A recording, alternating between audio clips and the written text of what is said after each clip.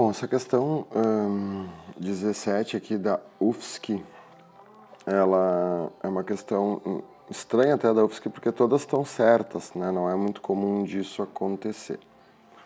Tá, pelo desenho, o que, que a gente vê? Que isso aqui é um campo elétrico uniforme, que está entre duas placas. Aqui tu tem a placa positiva, aqui tu tem a placa negativa. Um, os, os íons estão colados na placa negativa. E aí no segundo desenho, quando tu ligou, os íons vieram parar aqui, né? Um foi até o meio, os outros andaram um pouco menos, porque aqui tem um meio gelatinoso, né? Um gel que tem atrito. Então notem que os íons foram na direção da placa positiva, né? Então isso aqui são ânions, todos eles têm carga negativa. Uh, quando tu ligou a DDP, eles se afastaram do negativo e se aproximaram do positivo. É uma força elétrica fez eles uh, irem na direção do positivo. Tá, a número 1 um diz: enquanto a DDP estiver aplicada, a força que atuou em cada íon será constante, independente da posição entre as placas. Sim, porque o campo é uniforme. Ó, E é igual a F sobre Qzinho. Questão teórica tu resolve pela fórmula. Né? Um, o que, que é a força? A força é o campo vezes a carga. Por que, que no campo uniforme a força é constante?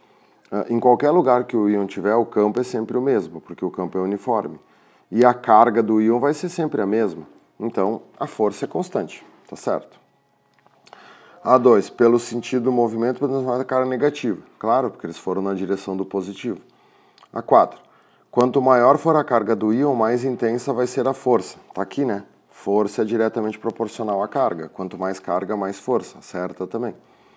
A8, os íons maiores têm mais dificuldade em locomover-se pelo gel, por esse motivo podemos separar os maiores dos menores. É, essa 8 está respondida no próprio enunciado. Né?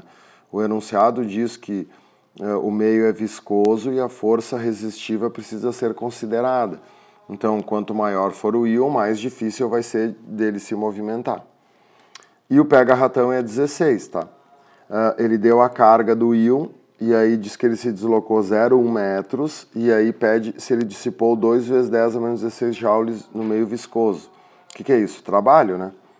Trabalho é a carga que tu transporta vezes a DDP, vezes o VAB.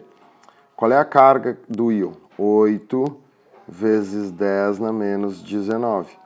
Qual é a DDP que ele está submetido? Ah, bom, aí que tá, olha só. Diz que a DDP entre as placas é 50 joules por coulomb. Não se esqueçam que joule por coulomb é o volt. Então, em vez de, da UFSC dar volt, ele deu joule por coulomb. Só que isso quando as placas estão separadas por 0,2, né? É, as placas estão separadas por 0,2, quer dizer, a DDP daqui até aqui é 50. Só que aqui diz que o íon andou 0,1, quer dizer, o íon foi só até a metade. E aí tu te lembra do VED, VAB igual a E vezes D. No campo uniforme, a DDP e a distância são diretamente proporcionais. Então, se tu andou só metade, a DDP é a metade. Então, é vezes 25 e não vezes 50. E aí, 8 vezes 25 é 200.